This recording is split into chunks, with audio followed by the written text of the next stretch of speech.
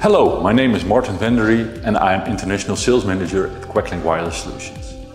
Today I would like to introduce you to one of our latest high-end IoT products, which will be a game changer in the telematics market. The GV850 CEU is a 4G LTE Cat 1 programmable Linux-based telematics gateway with 2G fallback. It provides a variety of interfaces, including multiple IOs, RS-232 and 485 serial ports, and BLE connectivity. On top of this, it has two high-low speed CAN bus ports and a separate K-line port to allow remote tachograph file downloading and receive live driving status data information.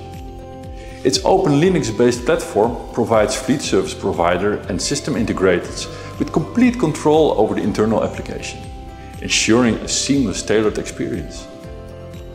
Our Queclink GV850 CEU has a CAN bus library included, which supports data for various types of vehicles, including HGVs, LGVs, passenger cars and heavy machinery.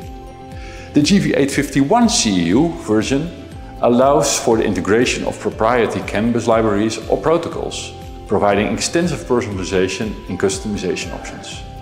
For more information, please contact me or one of my colleagues. We will be happy to help you out and find the optimal solution for you. Follow us on LinkedIn or other social media platforms to be informed of the latest product updates.